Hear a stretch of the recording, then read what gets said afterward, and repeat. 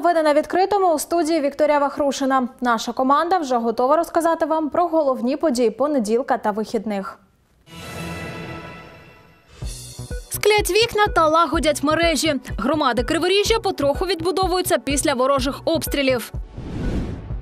Хрумке та смачне. У Дніпрі на честь яблука влаштували свято. Сам важить 80 кілограмів, а зрушив з місця 30-тонний вагон метро. Дніпрянин Дмитро Грунський встановив подвійний рекорд Гіннеса та національний. І про це та інше більш детально. Лагодять мережі, приводять до ладу фасади, склять вікна та балкони. У громадах Криворіжжя тривають відновлювальні роботи та підготовка до нового опалювального сезону. Донедавна Мар'їнське, Велика та Мала Костромки, Зеленодольськ, Апостолове були практично під щоденним ворожим вогнем. Армія агресора пошкодила та зруйнувала там тисячі будівель, квартири, і приватні будинки, лікарні, школи та спортивні заклади. Зараз, коли ЗСУ посунули росіян вглиб Херсонщини, у Криворізькому районі стало спокійніше. Ворожа артилерія не дістає. Як громади потроху відбудовують своє життя, далі в сюжеті. Ховалися від снарядів у ванній кімнаті, дотримувалися правила двох стін, а було й таке, що спали на підлозі три місяці поспіль. Все через щоденні ворожі атаки, розповідає мешканка Зеленодольська пані Марина. Тож місцеві добре навчилися відрізняти зброю, з якою ворог гатив по мирному місту. Неодноразово потрапляв під обстріл і її будинок, каже жінка. Кожного дня і кожної ночі у нас були обстріли. Майже кожного дня і кожної ночі. Лупили так, що страшне. Ну зараз тихіше, слава Богу. Слава ЗСУ. Дуже віримо в ЗСУ, дуже сподіваємося на ПВО, дуже хочемо перемоги. Нині комунальники потроху відновлюють пошкоджені будинки та об'єкти інфраструктури. Зараз фахівці працюють і в місцевій спортивній школі. Кілька ворожих атак і заклад залишився без жодного вцілілого вікна. Директор школи розповідає, найпотужніший обстріл був місяць тому. Тоді до спортшколи прилетіли 9 російських снарядів. У нас обстрелы были э, в течение пяти месяцев, когда было прикосновение фронта. Были э, повреждены у нас э, 360 квадратов стекла.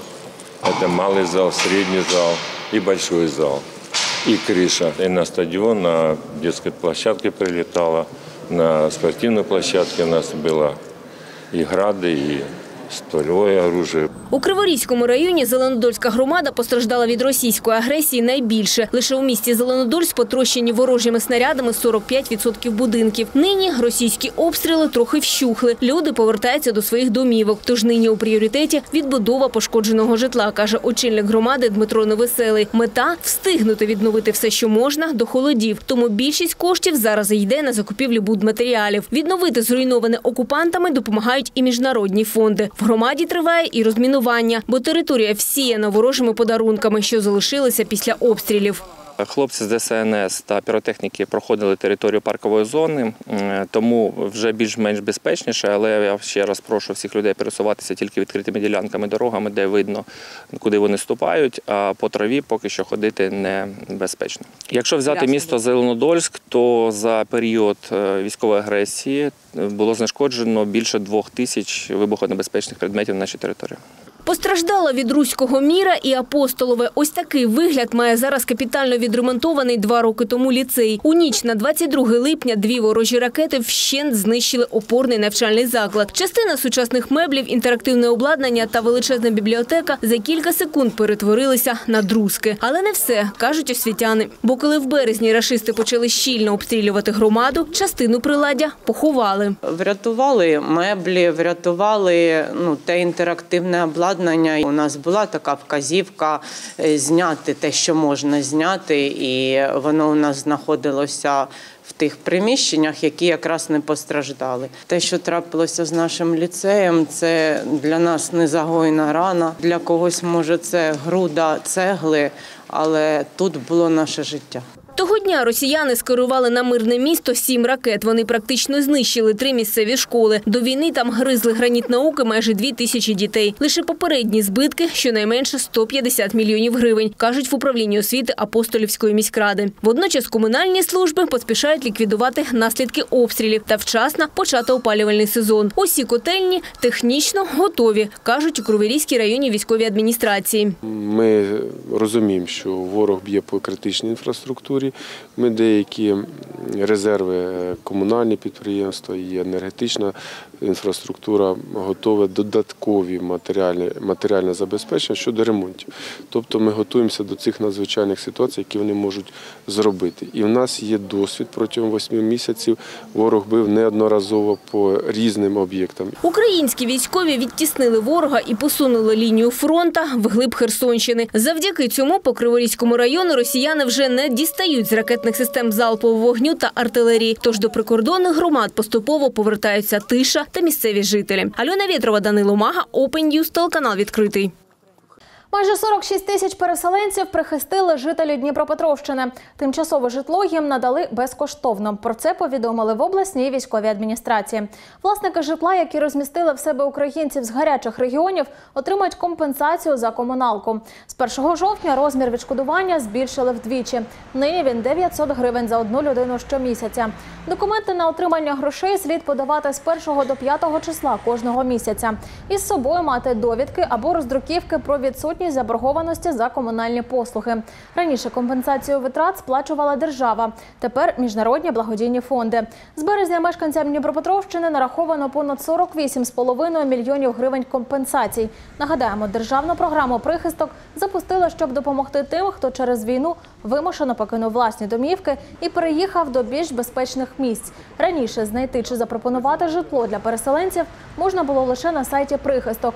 Тепер це можна зробити у міській, селищній чи сільській раді. На Дніпропетровщині запрацювала єдина інформаційна система соціальної сфери. Це дозволить спростити призначення та виплату допомоги. До системи вже підключилися всі управління соцзахисту населення. Переселенці стали першими, хто отримав допомогу через новий сервіс. Єдина інформаційна система проводить повну верифікацію даних ще на стадії опрацювання заяви на допомогу. Таким чином, виникнення двійників або помилкових адресатів неможливо. В першу чергу до нової системи запровадили виплати внутрішньо переміщеним особам. Так, внутрішні, е, внутрішні переселенці в будь-якому регіональному управлінні соціального захисту зможуть е, швидко змінити в довідці ВПО е, неактуальне місце проживання, е, швидко виправити помилкові чи некоректні дані в заяві на отримання довідки ВПО та з'ясувати і усунути причину затримки допомоги на проживання. 80 тисяч студентів-контрактників Кабмін переведе на бюджет. Про це повідомив прем'єр-міністр України Денис Шмигаль. Зокрема, це діти загиблих захисників України, учасники бойових дій та їхні діти. У цьому переліку також переселенці, які переїхали з тимчасово окупованих громад або територій, де тривають бойові дії. Щоб продовжити навчання державним коштом, студентам, яких зарахували на контракт до 2021 року включно, необхідно звернутися із заявою до керівництва навчального закладу. На фінансування проєкту з держбюджету виділять 363 мільйони гривень, зазначив прем'єр.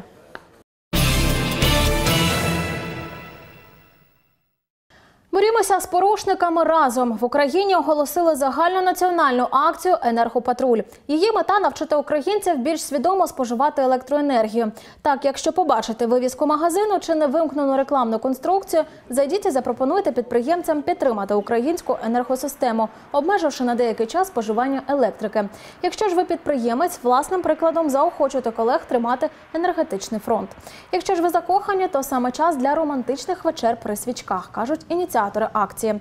Фото та відео з результатами патрулювання можна відправляти в чат-бот Собака Струм Патролбот.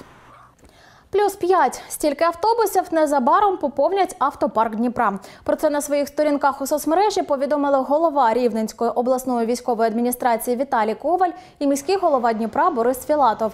Зазначимо, великі пасажирські автобуси вже приїхали з Рівненщини. Тож міськими маршрутами скоро курсуватимуть три автобуси гармошки на 46 посадкових місць кожний та два звичайні автобуса на 32 місця. Раніше Рівненщині цей транспорт передала німецька компанія Скельна. Автобуси допоможуть скоротити дефіцит громадського транспорту у Дніпрі. Нагадаємо, наприкінці вересня російська ракета поцілила в міське АТП та знищила практично сотню автобусів, що обслуговували сім напрямків. Надайте Україні військову допомогу. Такі вимоги висували учасники акції, що пройшла у Єрусалимі напроти резиденції прем'єр-міністра. У ній взяли участь зо три сотні активістів, які підтримують нашу країну. Мітингувальники синьо-жовтими стягами, прапорами Ізраїлю та плакатами Росія держава терористка закликали уряд до більш активних дій та розблокування вето на постачання систем ППО. Акцію протесту організувала неурядова організація Ізраїль Friends of Ukraine, яка також відправила письмове звернення до прем'єра Яїра Лапіда та Кабміну Ізраїлю. У ньому ізраїльські друзі України просять уряд звернути увагу на зростаючу іранську загрозу через зближення та співробітництво з РФ в галузі військового обладнання.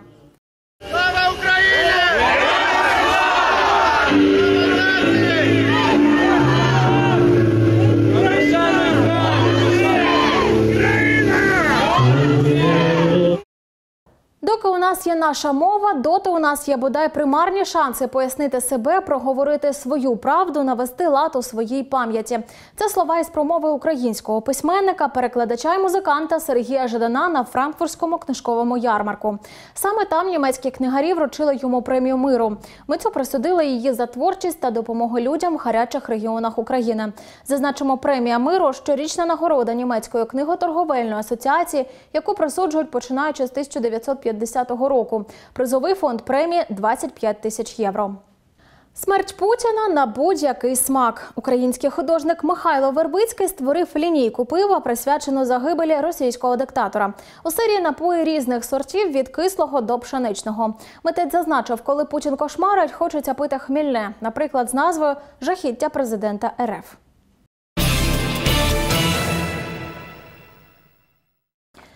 Майстер-класи, частування, конкурси і все з присмаком яблука. Саме цьому соковитому осінньому фрукту у Дніпрі влаштували свято. Організували яблуневий захід вихованці молодіжного центру Лідер. Похрумтіти смачненьким завітали як дітлахи, так і дорослі. Не встояла й наша знімальна група. Погляньте, яка смакота у нас є: шарлотка, печиво і тертий пиріг. А ще круасани у пудрі, мов сніг. І усе це добро виключно з яблуком. Цей фрукт не лише головний інгредієнт різних страв, а ще й винуватець заходу. День яблука організували вихованці молодіжного центру Лідер. Він припав до душі як малечі, так і дорослим. Для дітей це свято. В такий час для дітей це свято. Це потрібно, щоб було таке. Ми вдруге тут, да.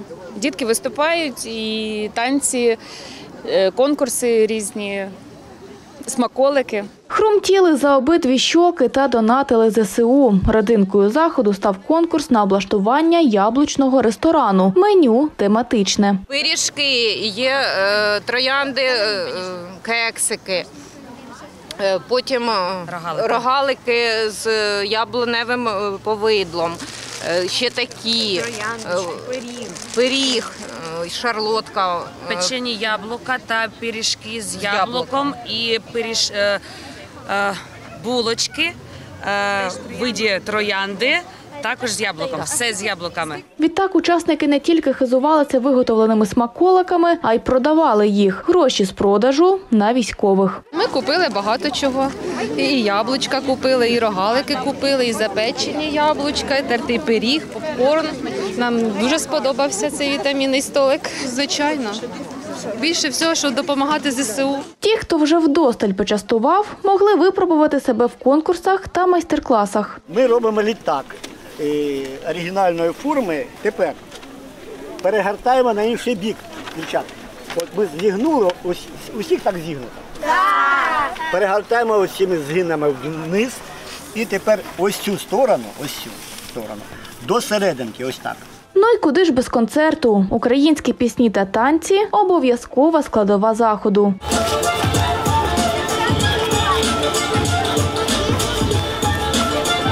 Організатори зазначають, такі зустрічі не тільки спосіб підтримати країну донатами, а й відволіктись від тривожних новин. Однією з найголовнішою метою цього е, заходу е, це весело, дружньо провести час е, в колі своєї та родини, своїх знайомих.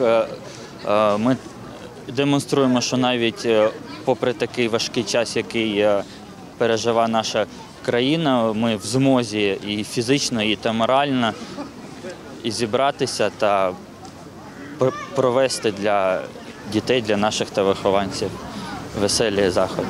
Яблуневе свято планують зробити традиційним. Наступного року обіцяють ще більше цікавинок та смаколиків. Дар'я Пшенична, Олексій Кікоть, Open News, телеканал відкритий.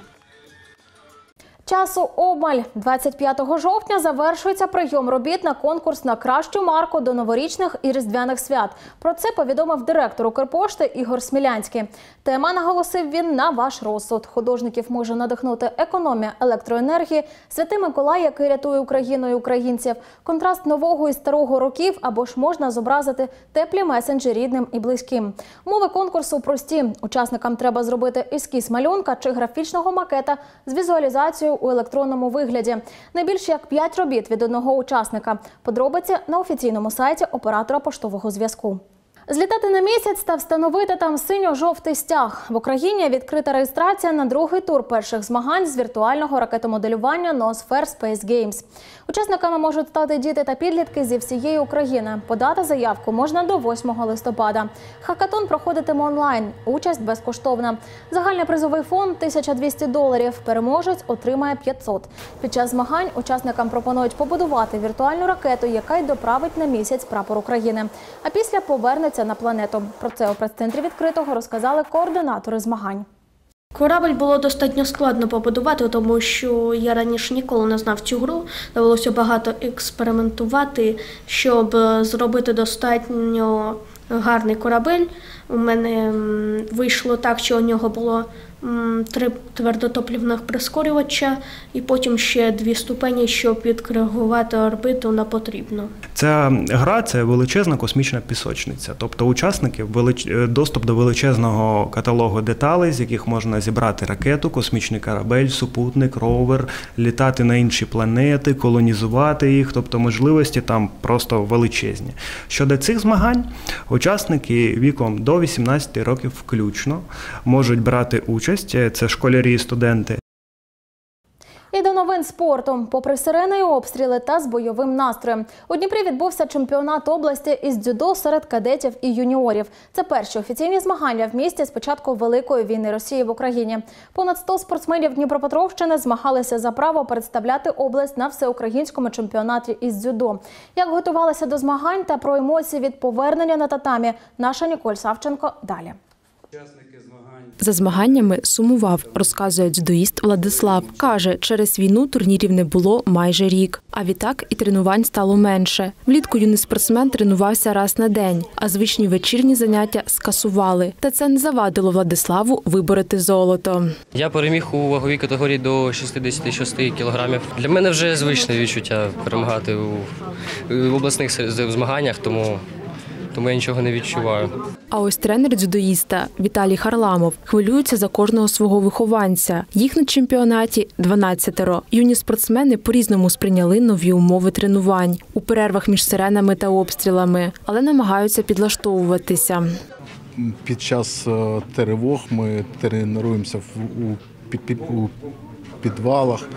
Ну, це ін, інша робота, але вона нас не лякає. Ми готуємося до тих змагань, які зараз е, мають в цей час проходити. До постійних сирен уже звик і Гордій. У ті дні, коли окупанти влаштовують ракетну атаку по місту, тренування доводиться скасовувати. У таких випадках складно емоційно, зізнається спортсмен. Від тривожних почуттів рятує спорт. Спорт для всіх є е, різним, різними ліками. Та особисто для мене це допомагає забути про проблеми та відволіктись від е, сірої життєвої ситуації. Спорт лікує й Ангеліну. Перемогу дівчини на змаганнях затьмарює особиста втрата. Війна забрала в юної дзюдоїстки найріднішу людину. Відчуття дуже тяжкі, тому що були, був дуже великий перерив між змаганнями і психологі- психологічно тяжко. Мене загинув батько, тому ще тяжко. Обласний чемпіонат зробили об'єднаним. Змагалися кадети до 18 років і юніори до 21 року. Окрім дніпрян, на татамі зійшлися спортсмени Кривого Рогу, Павлограда, Кам'янського, Синельникового, Новомосковська та Харкова. Загалом у змаганнях взяла участь більш ніж сотня учасників, хоча чекали більше гостей. На початку війни багато наших дітей було евакуйовано централізовано е, від е, Українська Федерація е, на чолі з Михайлом Анатолійовичем Кашляком евакуювала в три країни: це Угорщина, Хорватія і Румунія. Тому більш-менш серйозно почали тренуватися всі в своїх е, спортивних школах, спортивних клубах е, десь уже з вересня місяця. Призери обласного чемпіонату вирушать підкорювати всеукраїнське татамі. Чемпіонат України запланований на листопад. Ніколь Савченко, Олег Родіонов, Open News, телеканал відкритий. Дніпрянин Микита Тульських виграв бронзу Кубка Європи із дзюдо серед кадетів, спортсменів до 18 років. Змагання відбулися у столиці Латвії Ризі. На татамі вийшли майже дві сотні дзюдоїстів із 15 країн. Микита Тульських вибрав третє місце у ваговій категорії понад 90 кілограмів. Таким чином, спортсмен вперше в житті став медалістом офіційних європейських змагань Кубка Європи. Загалом національна кадетська збірна здобула в латвійській столиці три золоті, чотири срібні і вісім бронзових нагород та посіла перше місце в медальному заліку. Його вага 80 кілограмів, а зрушити вдалося понад 30 тонн. Дніпрянин Дмитро Грунський встановив подвійний рекорд, протягнувши шиєю вагон метрополітену. Це абсолютний рекорд як для України, так і світу. Стронгмен своє досягнення присвячує українським військовим і закликає донатити, аби в наших воїнів було більше сил на боротьбу з ворогом. Про сталевих воїнів у тилу далі в сюжеті. Найважче зробити перший поштовх. Далі справа за витримкою.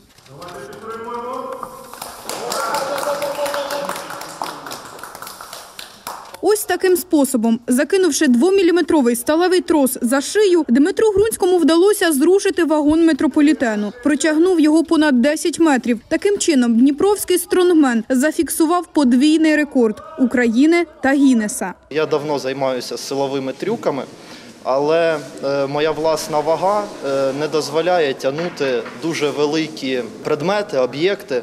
І тому в своїх силових номерах я стараюся е, придумувати такі моменти, які або не кожна людина може зробити за рахунок витримки, характеру, або ж ті рекорди, які будуть ду- видовищними. Готуватись до рекорду Дмитро почав кілька років тому. У 2017-му спортсмен спробував зрушити дві автівки з загальною вагою 5 тонн. Пізніше були спроби з трамвайним вагоном, який майже вчетверо важчий. Цього ж разу стронгмен перевершив себе, протягнув понад 30 тонн. Дмитрий э, протянул э, вагон метрополитена весом 32,5 тонны на 11 метров 55 сантиметров за минуту 18 секунд.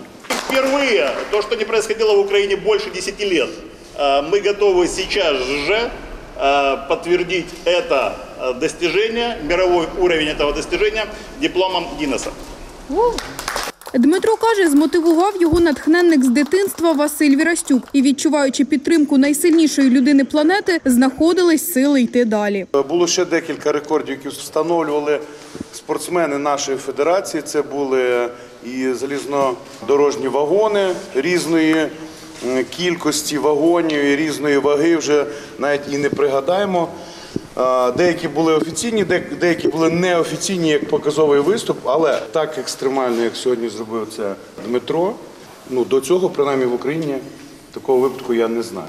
Встановити рекорд планували ще 24 лютого, та завадила війна. Тому зараз цей здобуток спортсмен присвячує військовим і в такий спосіб намагається зібрати для них кошти на продукти, теплі речі та обігрівачі. Донатьте, не зупиняйтеся, тому що перемога у нас кується нашими спільними зусиллями, і нашим захисникам буде набагато легше протистояти ворогу, коли вони відчувають надійний тил за собою. Лада Донець, Євген Гаценко, Open News, телеканал відкритий. Інформація на сам кінець. Цими вихідними Україна переведе стрілки годинників на годину назад. Перейде з літнього часу на зимовий. Станеться це в ніч проти неділі, 30 жовтня о 4. Стрілки годинників в Україні переводять вже майже 4 десятиліття. Роблять це восени та навесні, в останню неділю жовтня і в останню неділю березня. На механічних часомірах стрілки треба переводити власноруч, а гаджети перейдуть на зимовий час автоматично. На цьому я з вами прощаюся. Після випуску новин не перемикайте. Дивіться прогноз погоди. Дякуємо, що залишаєтесь відкритим. Крокуємо до перемоги разом.